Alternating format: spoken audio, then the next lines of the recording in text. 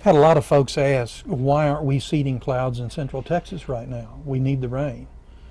We've had too many days when we did not have any clouds at all, and the technology of cloud seeding as we know it today does not have the capacity to make clouds in clear blue sky.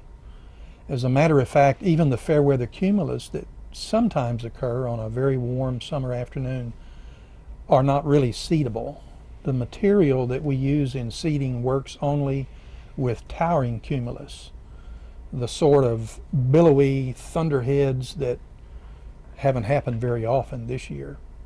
But I will say in the six areas of Texas where we have been doing cloud seeding, we have had a number of occasions to seed them even in this extremely hot and exceptionally dry summer. This summer? This summer. You you succeeded in increasing rainfall?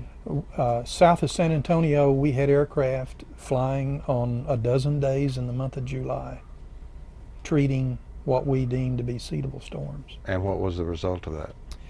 Uh, the same result that we've seen since it started in 1997. Some clouds respond very well. Some clouds respond only to a limited degree maybe one or two instances when uh, one or two instances when clouds didn't respond as we had hoped, probably because we got to them too late. And when you say they responded very well, what does that mean? It means that the storm lived longer and produced more rain over a larger area. And uh, how do we know that it did that? I mean, what if you hadn't seeded? I mean, good question. You know. uh, we know that because we systematically analyze on a given day clouds that are seeded and we compare their behavior with cloud, similar clouds in areas adjacent to the target area that were not seeded. And we compare the behavior of the two sets, the treated and the unseeded. And we've been doing that for about 10 years now. And we have seen a very consistent response from storms that were seeded in a timely fashion. You know, for, for us lay people on the ground, you know, we're going to look up at a summer afternoon in a normal year or different than this mm -hmm. one mm-hmm. anyway, and we're going to say, hey, look here, there's a big old thunderhead over there. And look at there, there's a big old thunderhead over there. And this one's going to rain like hell, and that one just spits. You know, so my question is, how do you know? You say it's a similar cloud, mm -hmm. um, but you know, I, I don't doubt you. I'm just trying to understand how you can tell. Right. It's true that on a given day you may have two storms visible. One rains a lot and the other doesn't rain much. We're not really sure why one doesn't perform and the other one does. But when you do this sort of systematic seeding in one area and compare it with what happens in adjacent areas, when you do that long enough, and you get the sample size big enough, then you can draw some statistical significance to the numbers that you see from seeded storms versus the behavior of the unseeded. Okay, all right. And and and talk to me for just a minute about what seeding is. What what mm -hmm. what do you guys do up there? Seeding involves the release of a material that includes silver iodide, whose crystalline structure is almost identical to natural ice.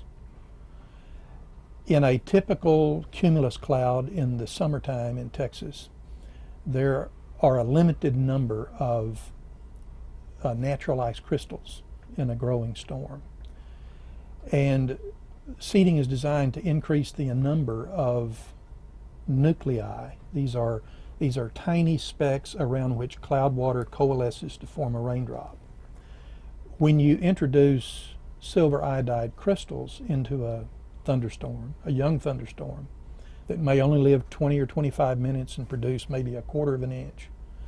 If you introduce those ice crystals early enough in the life of that cloud, more of the cloud water will be converted into tiny snowflakes, which will then attract more cloud water to form raindrops. Uh, seeding is designed to nudge the cloud along, giving it the ammunition it needs to make more use of the cloud water that's there. All right, and and when it does that, is, is there is there a way to get a handle on how much more rain, and ten percent more, fifteen percent, thirty percent, uh, than it would otherwise deliver? Yes, our research done in the 1980s, which sort of laid the foundation for the state assisting groundwater districts in building these projects in the mid 1990s during the last major drought. Our research indicated that a seeded storm on average would produce 2.3 times the amount of rain that a neighboring unseeded storm would produce So more than double. more than double. And the results of the analysis that we've done on cloud seeding in Texas since 2002 has corroborated that. And so when you extend that over, say, a growing season from April to October, you're looking at a 20 to 30 percent increase in seasonal rainfall for an area of, say, 5 million acres. That's a substantial amount of additional water. We're looking at a couple of hundred thousand acre feet of water per project uh, from single cell storms only. And of course, we seed multi cell storms as well. They're, they're more sophisticated, they're more complicated to analyze. And so we're only using the numbers from the single cell storms, but even those numbers are very encouraging. And and how much does it cost uh, relative to what we get out of it? Is this this is a cost effective science that we're doing here? It is. It costs less than a nickel per acre. When we built the projects starting in 1997, we estimated it would cost about 8 cents per acre. And each one of these target areas, uh, cloud seeding project areas, covers about 5 million acres, essentially the reach of a Doppler radar system. And to work clouds that develop within that 5 million acre area, uh, you need about two to three aircraft. So the initial startup cost is more because you have capital assets like aircraft and radar to purchase.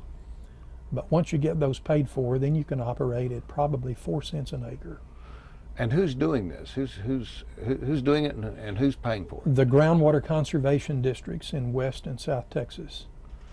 Many of the counties in Texas now have these districts. They, they regulate the amount of pumpage uh, in areas where there are major and minor aquifers, And so pools of water beneath the surface. they're paying for it through their tax revenue. Yes.